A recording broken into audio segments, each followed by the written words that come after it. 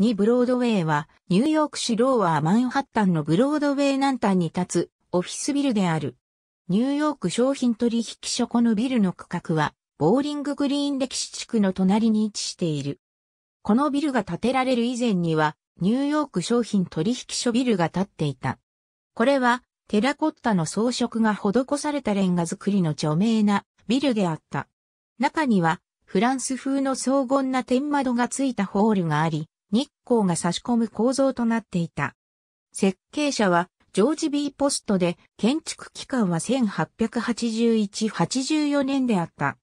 ニューヨーク商品取引所ビルは1957年に解体され、1958から1959年の建設期間を経て32階建ての現在のビルへと建て替えられた。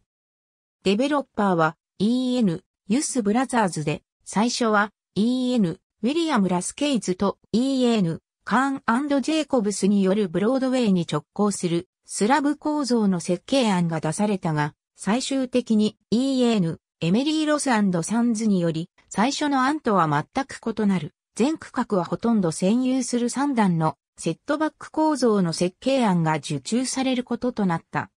1999年に青と緑のガラスで覆われた現在のファサードに張り替えられた。これは、スキットモア・オーイングズメリルの設計によるものである。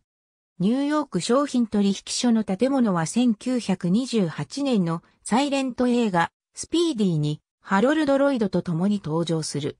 ニブロードウェイは1965年のホラー映画、ミラージュにグレゴリー・ペック及び E.N. ディアネ・ベーカーと共に登場する。また、1960年のアメリカのコメディ映画アパートの鍵カシマスにも登場する。ありがとうございます。